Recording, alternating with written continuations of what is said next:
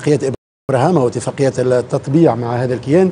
وبعد أن خلنا أن جذوة المقابلة المقاومة خفتت في لحظة ما وأن القضية الفلسطينية بدأت تضيع ضمن هذا السياق. اليوم يفاجئنا هذا الجيل الجديد اللي راكم نضالات المقاومين السابقين ويخرج من هذا القمقم كعملاق كشعب جبارين ويفرض اليوم معادلة جديدة في الوضع الدولي والوضع الإقليمي.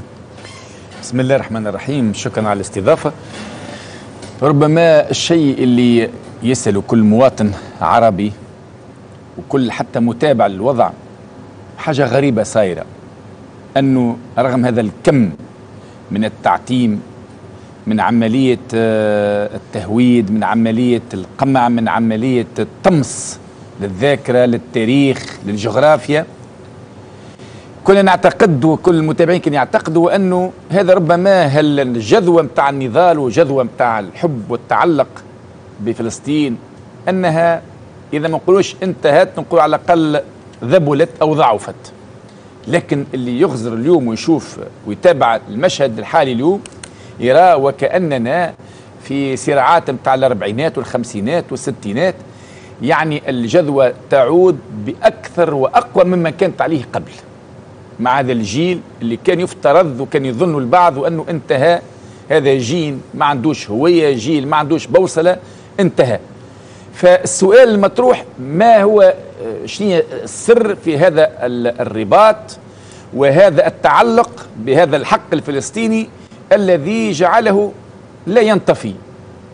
إلى الآن ما زال قوي في قلوب كل المسلمين وكل العرب في كل أنحاء الأرض. السبب أعتقد حسب تقديري الخاص وهذا قلته في كتابي الذي سميته الدستور يريد وكنتم بارك الله فيكم استضفتوني من أجله. يتمثل في سبب وحيد. يتمثل في انه العلاقة اللي تربط القدس الشريف أو الأرض المقدسة بعامة المسلمين هي علاقة عقائدية بالأساس. قبل أن تكون علاقة حقوقية أو علاقة جغرافية أو علاقة تاريخية.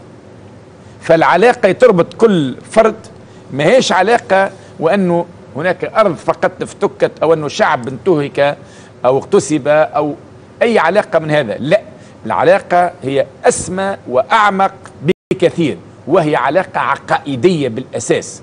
يعني أن هناك كما الإنسان المسلم والعربي الذي يرتبط بدينه وعجز الجميع عن إبعاده على الارتباط هذايا وإخراجه من السياق هذايا نفس الشيء بالنسبة لرباطه بفلسطين والأرض المقدسة والقدس. فلما يقع المساس بالأقصى أعتقد أن هناك مقدس عظيم في قلب كل مسلم وفي كل قلب كل عربي وقع ضربه ومسه وهزه. وذاك ترى في حتى في عملية التحرك ما هيش العلاقة أو بمعنى الشكل بتاع التحرك ما خذاش طابع آه نقول وإحنا بتاع آه في سياسي معين أو حزب معين أو عقائدي ديني معين إخذا طابع انتمائي بتاع هوية كاملة بتاع بوصلة كاملة. وذاك ترى في الشباب وقت اللي يهب والشعب الكل وقت اللي يهب بالنسبة اللي هو هب من أجل حاجة واحدة وانه ذلك المقدس اللي بالنسبة لي هو يمثل إيش؟ يمثل وجوده، يمثل كنهه، يمثل هويته. فالهوية اليوم اللي العولمة محاولة العولمة اللي يخدموا عليها اليوم واللي نشطوا عليها الكثير في أنها قضت على هيك الرباط اللي يجعل كل إنسان مرتبط نحو الهوية بتاعه فشلوا في كل هذا وثبت وأن الهوية لا زالت جذوتها قائمة ونسيت حتى اسمه أحد العلماء الفلاسفة وعلماء الاجتماع يقول لك العالم يشهد الآن عودة كبيرة وشديدة إلى رباط الهوية والتعلق بالهوية أكثر من الرباطات الأخرى مهما كانت مهما كان شكلها ومهما كان لونها.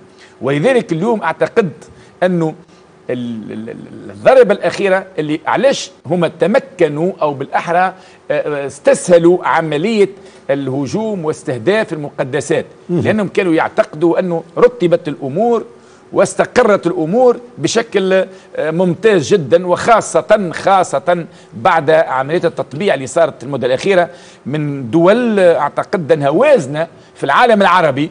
الدول الذي الوازنة في العالم العربي مالا وسطوة وجاها وكذا كانوا يعتقدوا الدول هذه لما طبعت فإن عملية التطبيع هي شكل أو بالعربي هي انعكاس لحالة كاملة شعبية. لكن تبين من جديد أن هناك فجوة عميقة وعميقة جدا بين هذه الحكومات وهؤلاء الحكام وبين الشعوب التي لا تزال إلى الآن متمسكة بثوابتها وهويتها وخاصة وخاصة بمقدساتها. نعم.